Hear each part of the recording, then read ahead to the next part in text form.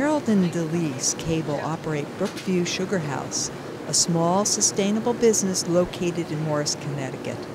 The pair are as mindful of the care required for the making of a quality product as they are for the sugar maples from which they gather the sap.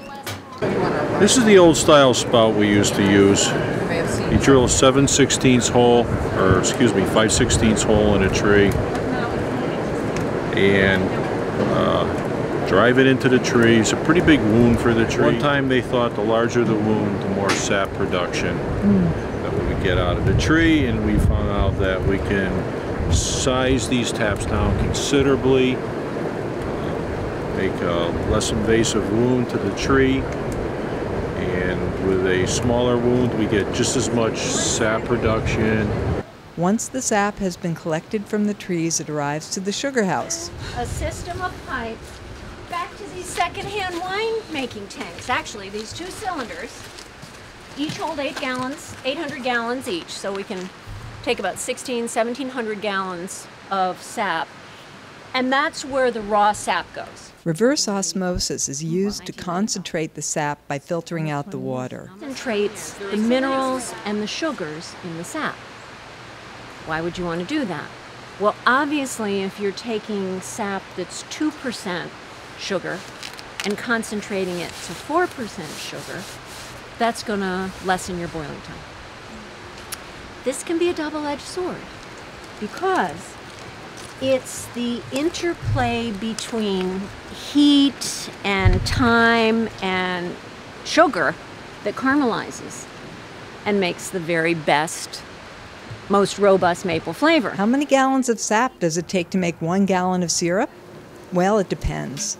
A man by the name of Jones devised the rule of 86.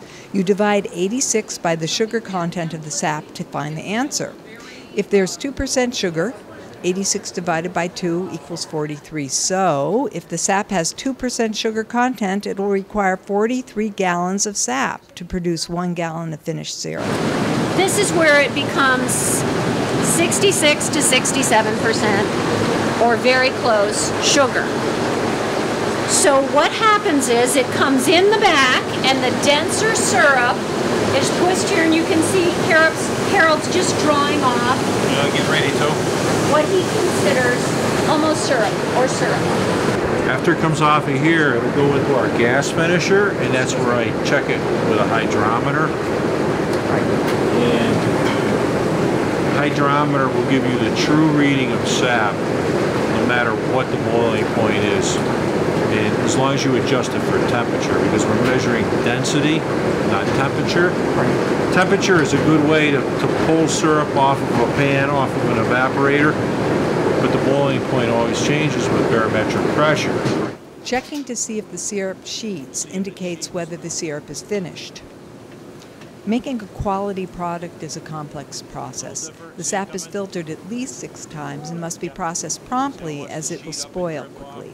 And there are important details only a skilled sugar house operator will know.